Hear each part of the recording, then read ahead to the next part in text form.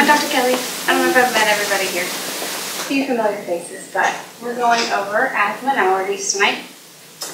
Um, yes, that's it just sign right? Okay. So this concerned me as a mother because I obviously want to know what are the major health challenges for children in our country.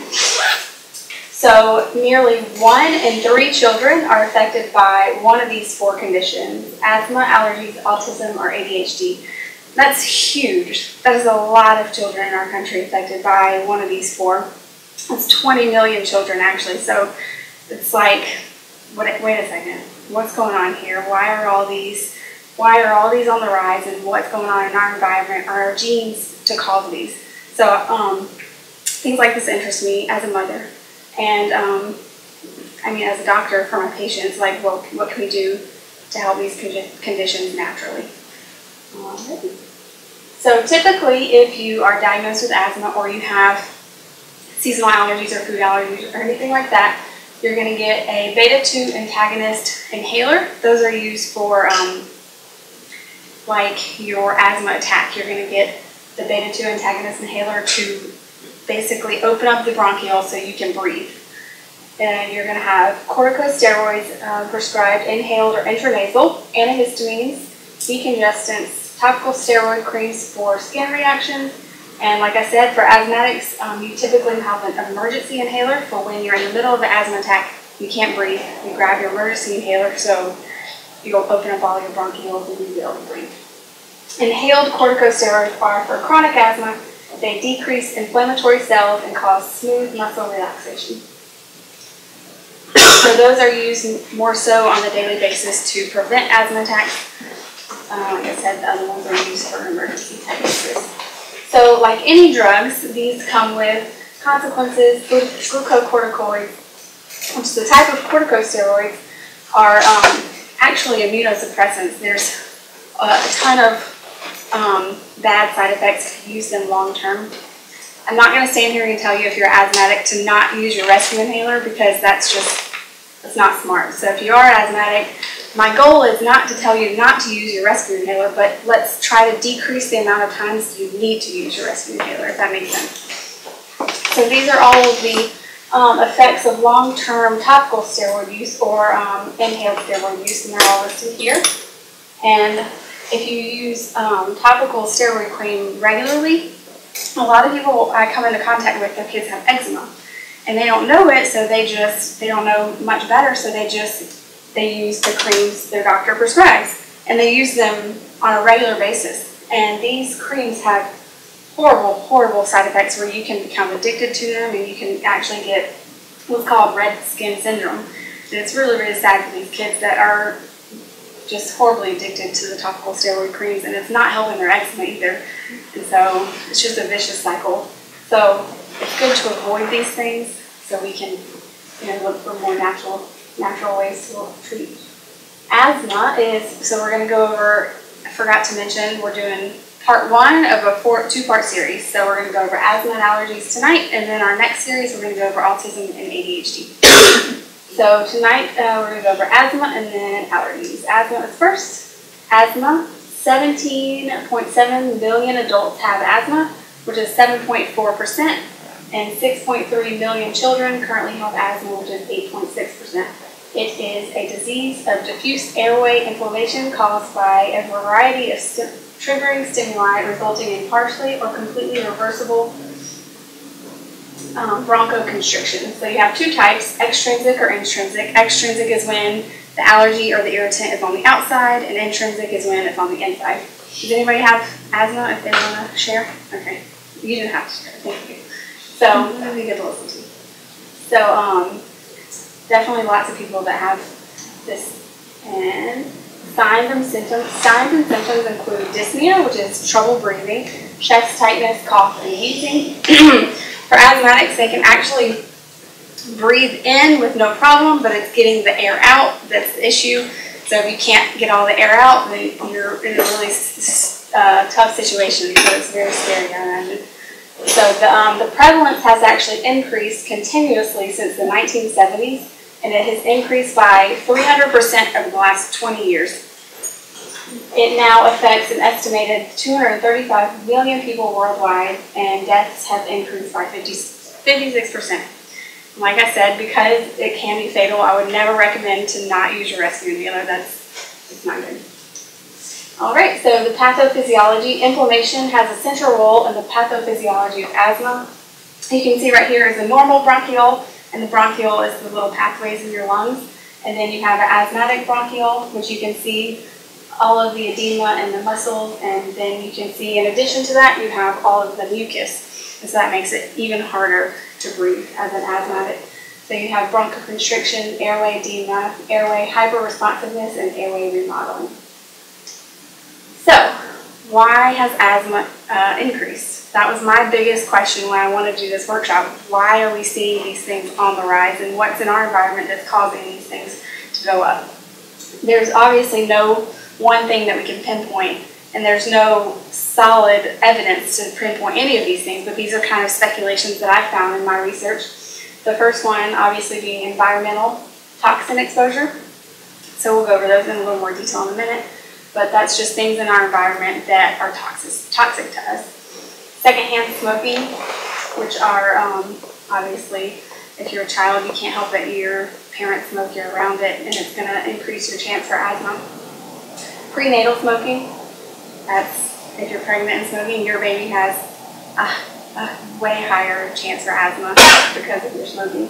You have a um, decreased ability to detoxify in the body will increase your chance of asthma and allergies. And early Tylenol use, I found a study that showed that Tylenol use in small infants increased their chances for asthma.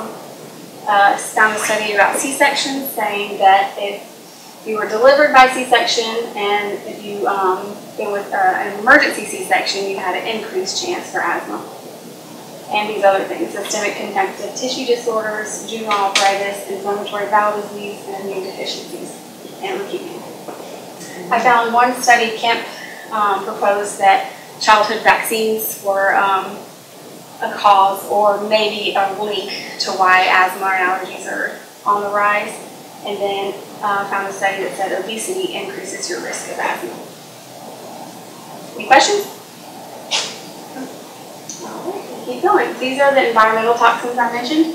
You have pesticides, phthalates, heavy metal exposure, diesel exhaust particles, particulate matter, and mold.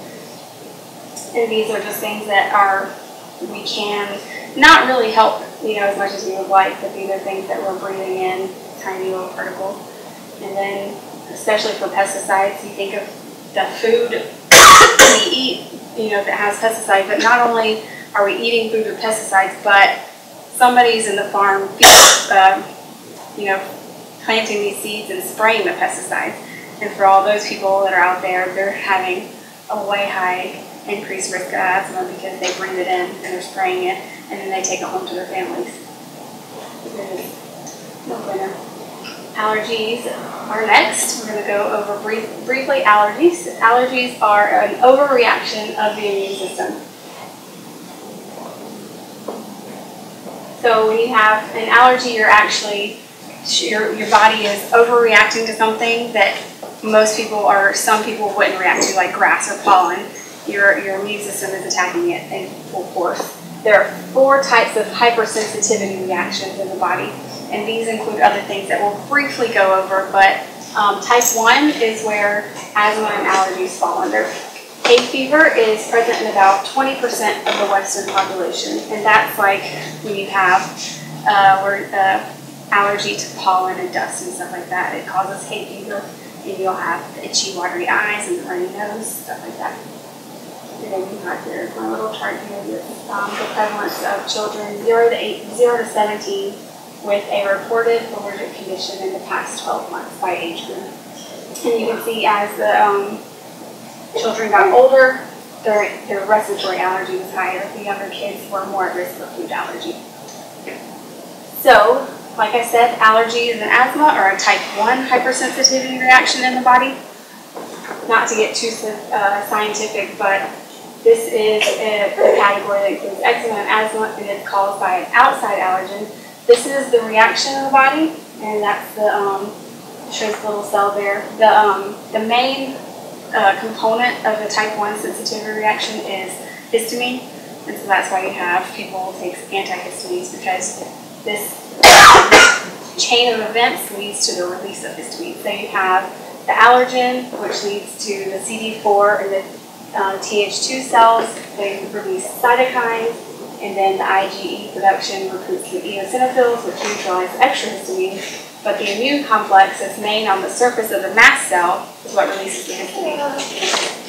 So that's why people will take Benadryl off of that to help dissolve all the histamine. All right, and this can cause systemic anaphylaxis. Does everybody know what that means? You ever heard of anaphylactic shock? So you have allergy, you can actually have anaphylactic shock, and you can also have these things systemically, which means all over your body. You can have itching, hives, bronchospasms, pharyngeal edema, abdominal cramps, diarrhea, vomiting, vascular shock, um, sudden dilation of all the vessels, and histamine, like I said, is a major effector substance, substance in allergic reactions.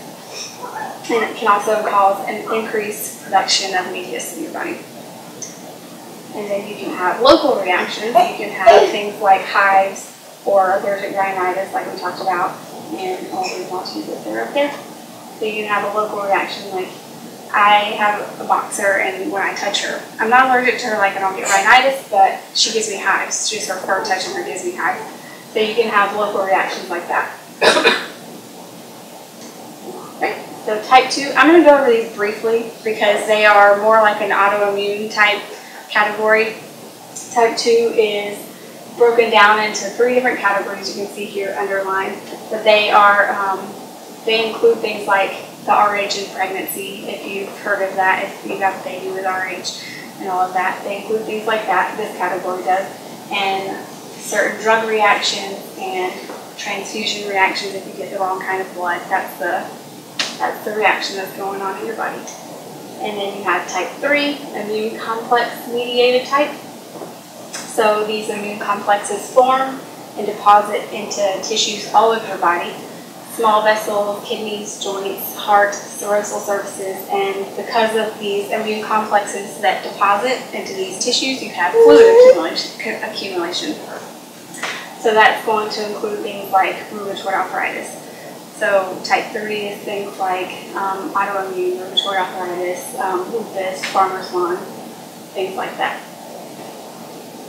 So it's not necessarily an allergy, but it's a hypersensitivity of the immune system an overreaction. And then you have type 4, which is delayed type. This um, includes the, the test they do for tuberculosis. So they prick your skin and then like later on you're waiting waiting for the reaction. This is a type 4 cell-mediated reaction. And then you can also have, um, if you have a graft rejection, this is what's going on. All right, and then we have food allergies. Uh, an estimated 9 million or 4% of adults have food allergies. Anybody have food allergies? So four out of every 100 children have a food allergy, which is nearly 6 million. From 1997 to 2007, the prevalence of reported food allergy increased 18% among children under 18 years. So I just have a little graphic here. It says every three minutes a food allergy reaction sends someone to the ER. They're very serious and some of them can be anaphylactic and sending an anaphylactic shock for you an EpiPen and stuff like that. All right, so you have the big eight are the most common, the big eight plus sesame are the most common food, food allergies that you see. Peanuts, tree nuts, crustaceans, cow's milk, hen's eggs, hen's eggs, uh, fish, soy, wheat, and sesame cow's milk allergy is the most common food allergy in infants. That's why you have so many babies that have a hard time with formula, because it is, it is a very common allergy in babies. And peanut allergy is the most common cause of food-related death. I know in the schools here, they're strict about peanuts, and this is why, because somebody's peanut butter sandwich could be death for the next kid over. So you have to be very careful these severe allergies. Right, and you have um, the skin is mostly targeted when you have food allergies, and it says over 80% of allergic reactions to foods are um, targeting the skin. So you can have hives and swelling. I know y'all seen that movie. What is it? He his, he eats something and his face swells up. It's Will Smith. Yeah. That, it's like his lips are humongous. That's um, angioedema. So next time you watch that, you can think of angioedema. That's rapid swelling of your dermis. So you can have the hives and the angioedema. And those are the most common skin manifestations of food hypersensitivity reactions. And they usually, if it's an allergy, it usually is going to appear pretty soon after eating the food. I know um, there's a big, there's a difference between an allergy and an intolerance. So an allergy is going to be pretty immediate. Like you eat a peanut, you're going to have you're going to have a pretty immediate reaction to that. Oh. All right. So atopic dermatitis is um, eczema. It's a chronic skin disorder that generally begins in early infancy and is characterized by typical distribution, extreme pruritus, chronic overlapping course and association with asthma and rhinitis. So usually these things occur together. If you have asthma, you have allergies, and if you have eczema, you have food allergies. So they're all pretty much together. Approximately 35 to 40 percent of children who are less than five years old will, with moderate to severe atopic dermatitis will be allergic to at least one food. So the doctors that are prescribing these topical steroids, it's masking the problem, but you really should be looking at the diet and what's causing that eczema, what's causing those skin reactions, rather than just what's covered up with a cream. So, um, and typically, like I said, it, it can be a food allergy. These patients typically fail to respond to conventional medical therapy or may have frequent exacerbations of underlying skin disease if causal foods are not strictly avoided. So, like I said, again, instead of avoiding foods, you just cover it with cream, but you should be looking at your diet and maybe trying to eliminate different things that are causing your, your reactions. The food most commonly related to chronic cutaneous symptoms include milk, eggs, peanuts, soy, wish, uh, wheat, fish, and tree nuts. What part, what, what's the part of the fish that causes the allergy? Um, I think it's normally like crustacean, Okay, like um, shrimp, shellfish, Crab. iodine. Yeah.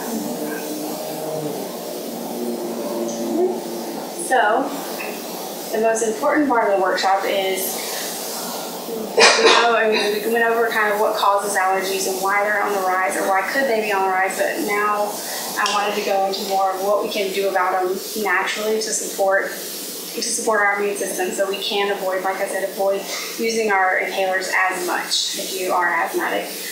Um, so first you want to check for your common deficiencies. There are four that we go over in our office often, and Dr. Mike has his deficient workshop.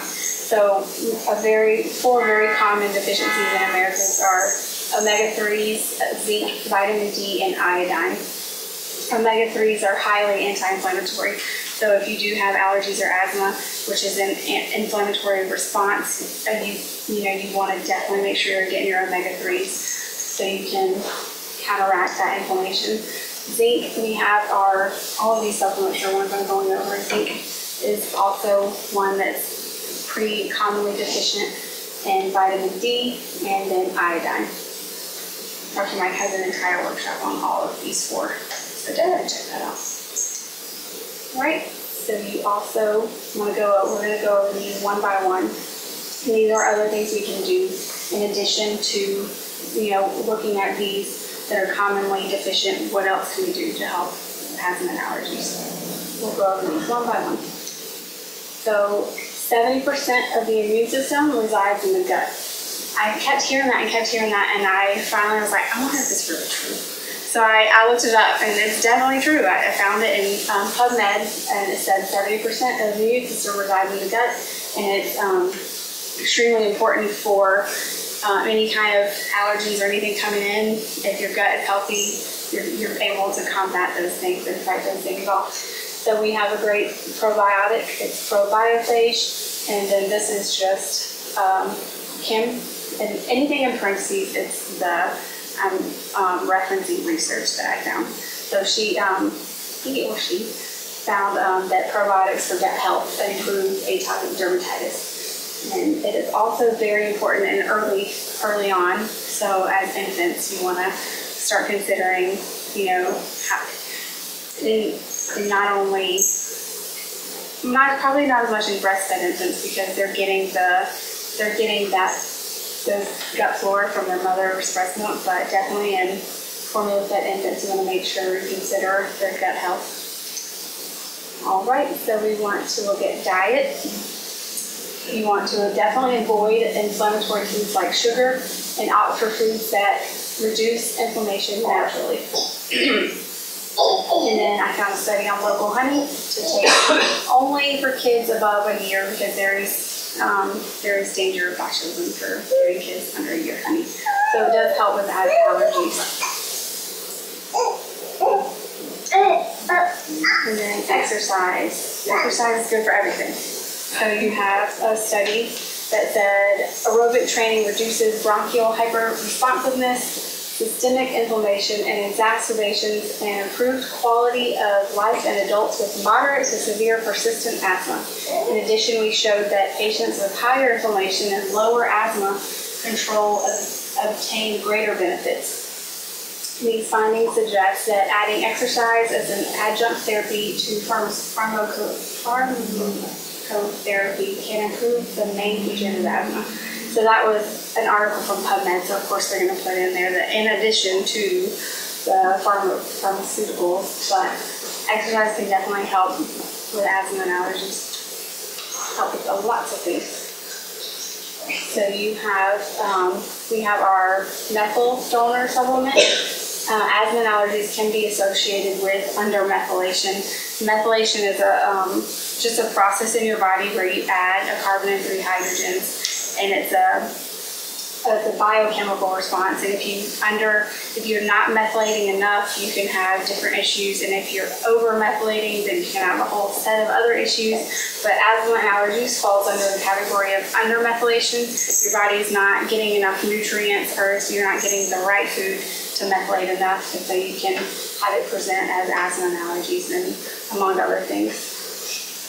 So this is our methyl donor support supplement. I found a ton of research on quercetin. I listened to YouTube video after YouTube video to make sure I said it right. Quercetin. I think that's it, but I found a lot of research on this. Um, it's got strong antioxidant activity and it's been shown to improve, to support immune health by mediating the release of inflammatory compounds, including leukotrienes and prostaglandins. Won't read that whole thing to you, but it, it's really great. It's actually found naturally in a couple different foods. And it's found naturally in things like raspberry and grapes and dark tomatoes and red onions. But it's only going to be if you eat the food that's great, but it's only going to give you a you know a certain low dose of quercetin in that food. So we have our D-Hist, which is got quercetin in it, and it, it's phenomenal for helping support asthma and allergies. And I wouldn't recommend taking this during an active asthma attack. That's just, this is going to be something that you take over the course of time to help improve your overall inflammation in your body. So it also has, the D-Hist also has vitamin C, stinging nettle leaf, bromelain, and N-acetyl L-cysteine. So each of these have really, really great properties when it comes to allergies and supporting allergies. Bromelain is found naturally in pineapple, so you can uh, eat pineapple as well. Bromelain is a plant enzyme naturally found on the stem and fruit of pineapple plant. It's a proteolytic protein digesting enzyme that aids in the breakdown of large protein complexes, large protein complexes. So um, they included it obviously in this because it does enhance the absorption of quercetin. So D-Hist also has stinging nettle leaf in it. It's a plant that has been shown to balance immune responses, specifically in the airways and nasal passages. Studies have shown that the extract of stinging nettle leaf balances a variety of inflammatory activities that affect respiratory health. We have N-acetylcysteine, it's an amino acid precursor, and it's one of the most important antioxidants in the body. And then vitamin C, very important for uh, its immune boosting properties, and also is included in the DHA. so those are um, so a couple of things that we can do in addition to our chiropractic care to help support asthma and allergies. I'm a chiropractor, so I have to I have to list chiropractic care because there's been studies that have been done that um, have reported chiropractic care as um, a good support for asthma and allergies. This one, these two found that patients under chiropractic care reported um, reduction in inhaler use and improved quality of life. So like I said, you want our goal is to help reduce your your need for your rescue inhaler. And then this is a quote I forgot to include by. It's Ingber, which is really neat. It says abnormal cell and tissue responses to mechanical stress contribute to the etiology and clinical presentation of many important diseases, including asthma, osteoporosis, atherosclerosis, diabetes, stroke, and heart failure. So basically, that's saying if your body is subluxated or if you have poor posture, your your cells and your tissue are going to respond to that, and it's going to be it's going to be an abnormal response. And these these can actually contribute to the etiology, like it says, to the presentation of things like asthma and allergies. So it's really cool. Our body is very interconnected, and your spine you know, every cell in your body knows what your spine is doing, so that's why chiropractic care is crucial for overall health. And then these were just some case studies that I found that showed improvement in asthma or allergy symptoms with chiropractic care. And there's several more than that, but I just did a quick search and um, found those. Okay, so an action plan for asthma or allergies. First, you want to avoid triggers. You want to do everything you can to support your immune system naturally, but if you know you're allergic to peanuts, definitely avoid those. You don't, you don't want to you want to try it out now. And then second, you want to reduce your toxin exposure. Dr. Mike has a workshop called Lifestyle, and it is every room in the house. He goes through room by room and talks about what you can do to detoxify your, your, your house so you can reduce your allergens in your house, and that will help tremendously. Things like you want to make sure you don't have any mold in your house. You want to make sure, um, I mean, if you're allergic to pets, and think about things like that. All right, and then the next step is going to be to detoxify. And we have our intracellular detox system there, and that helps. Basically, it's not a forced, um, it's not a forced detox. It's not gonna, not gonna just detox your entire body. It's it's teaching your, it's re, it's kind of helping the pathways along that do the detoxification in your body. So it's helping those pathways along so your body can detox itself. And then you have the natural supplements that we listed in addition to the core supplements, because you definitely want to check out what are you deficient and are you taking the, you know, the core supplements and then then the other ones I mentioned, and then diet changes is extremely important. And then Dr. Mike had mentioned to me that if you do silver and the nebulizer, that helps a lot too with um, preventing pneumonia. So you can get the silver in the nebulizer and that'll really help because people with asthma are, more prone to pneumonia, so you can make sure you use that as an immune support. And then there's the neti pot. Anybody have a neti pot? They're interesting. I have one, and it, I don't use it very often, but it can help irrigate irrigate your sinuses, and you know if you have any kind of irritants or dust or anything in there, that'll help flush it all out, so you won't keep getting rhinitis because of it. That is it. Anybody have any questions? Any idea why the children, why the uh, respiratory allergens seem to present later in their childhood versus earlier? Are you talking about that chart that I had? Typically, we knew that kids have asthma when they're young and they outgrow it, not that they grow into it. It's never what it is. Are you talking about that chart that I had up there? Yeah, I was wondering. I wonder if they're exposed to more and more things. In fact, I love it.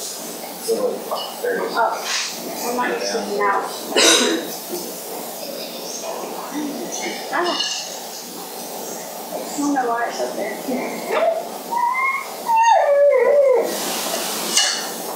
There you go. It did seem to. Oh, Is it's interesting.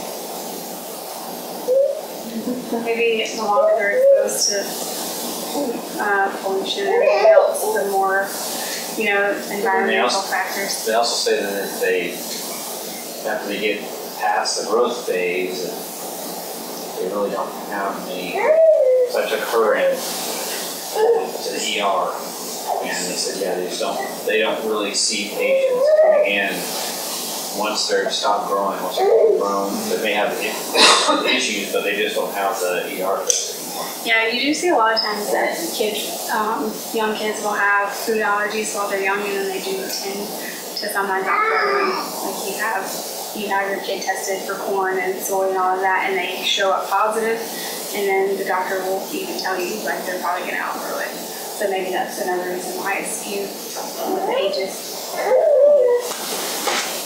You have a question? What's your question?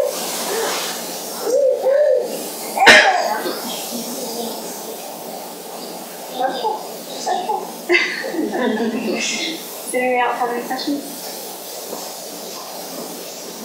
So do you think that these kinds of supplements, uh, I guess the gut one would especially help, would this help with food allergies at all? Yeah, I definitely could. There's um, there's people that have proposed that your, I mean, your gut is your immune system, and there's um, like as far as celiac goes, you can have those um, the permeability in your gut can be um, way too much, but your gut can repair. So there it definitely could help to uh, help help with your food allergies.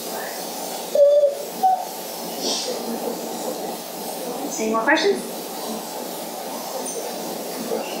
I'm over twenty minutes, so. We did. Like different flavors. Or oh, you can make it. that the goal for twenty minutes? I'm like seventy on me, because I went so fast. Then he'll talk for like two hours. I think this is the most interesting part of this to me, is just seeing Anti- Possible Antibiotic weeks. use. Mm-hmm. So these things might be, be like up there instead of you. these things might be like too oh. late, like if you have kids, like, and you've already, you know, given them antibiotics while they're young, they might be too late to, but these things are the things that you should go out and tell your friends. The friends that are pregnant and the, you know, people that you meet and tell them, hey, you may have, there may be implications in using antibiotics and, you know, allergies and asthma. And you can point them to the research, I have all of the research from. Because nobody knows the negative side of the antibiotics, like Right. just the general population Right. doesn't. Right, and I'm not, I'm a chiropractor, I'm not a doctor, I would never tell you, I can't tell you not to take medicine, I can't tell you not to take what you're prescribed, but I can help educate you on things we can do differently, things we can do in addition.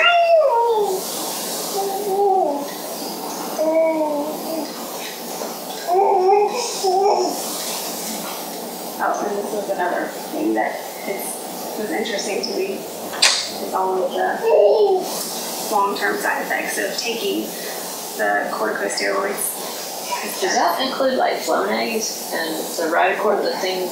Flonase is a, I'm not, is it an antihistamine or is it a? No, it's a steroid. It's a, it's a Yeah, steroid. it's a steroid, you don't know. Yeah, Because you- she has problems and we actually kind of weaned her off there. It's a steroid because they gain weight on it.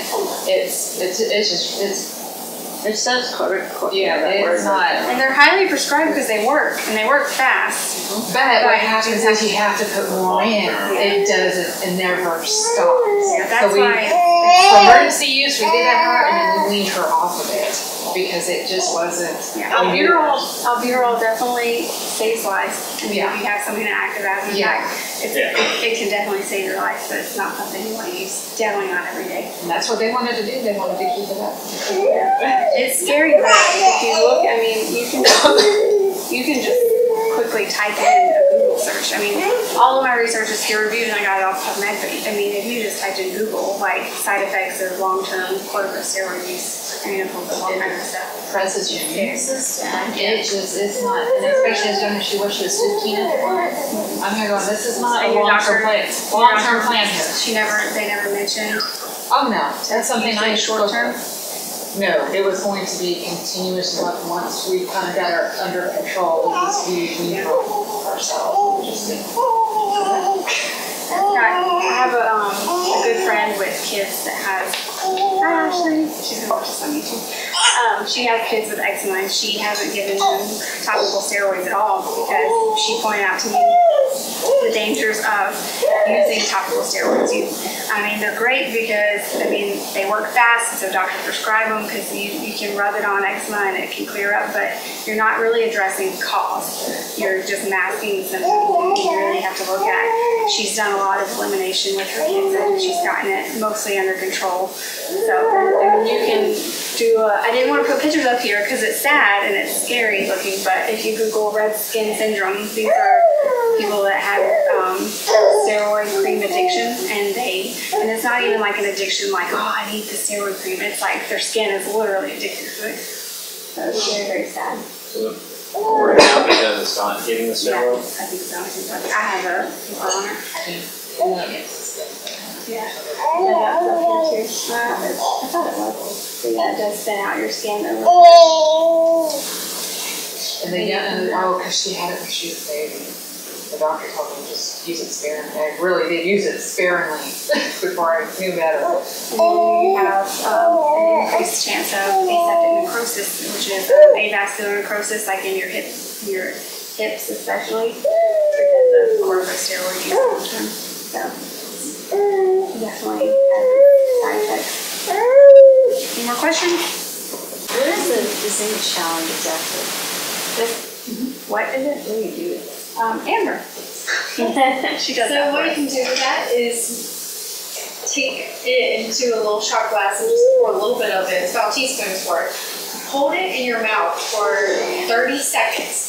So over that period of thirty seconds, you pay attention to how the taste is developing in your mouth. So it can be anything from kind of sweet, watery taste to a very strong copper taste oh in your mouth. So there's four different scenarios of how it could go. So if it's sweet and watery, that actually means your body is deficient in it and your body wants more of it, therefore it doesn't taste bad. But if it's a very strong copper taste type thing, then that means that your body probably has enough zinc in it. Thank you. But you don't, it's not, um, Because it helps, Right. it helps, I think you can. it helps, it helps to determine whether you need to take a But zinc you- supplement. I mean, this is a supplement too. You can take So that it's every single challenge day and and then once a week you can test yourself just for the heck of it to see how fast your body's getting enough zinc. And um, yeah, we have liquid there and we have pill form where you can just take a pill a day, but that one, you know, you can test whenever you feel like you, you test it. So that is the zinc. That is the same, yes. Yeah, That is it. Okay. Um, I think it's zinc, the same company, but it's the pill. Right. But I did get, she made me take that nasty stuff first. See so if I you can- switch it and it tastes coppery, do you spit it out then? Yeah, just you not swallow it. Okay. Yep. Yeah. It's not gonna hurt you. but I wouldn't highly recommend our supplements over just going to Target or Walmart because they are very well researched and what I was gonna very high quality. I know that if you just get supplements and random vitamins and things from Walmart, you're only getting a small percent actually absorbing. It's normally synthetic and not, um, and you want like a, a whole food supplement type. You want the, you want the vitamins to come from real food and not synthesized in a lab. And then they actually had Target recently. I love Target, but Target recently had their, um, they were in trouble because their supplements had fillers and all kinds of stuff, and they were saying this was vitamin whatever, and it, it wasn't at all. They were doing um, independent lab testing on them, and they got in trouble. So you have to be very careful. I would rather you spend a little bit more and get, you know, a well-researched brand than spend a couple of dollars and be putting something into your body that's not what it says it is, or that it's just a filler and you're wasting your money. I've heard that some of the supplements are coming from China. I, I, uh, I'm I don't, I don't trust, I, I mean, people, people ask me all the time, well, can I just go to Target and get it? And I'm like, no, you're- you can't, please, please don't. All right,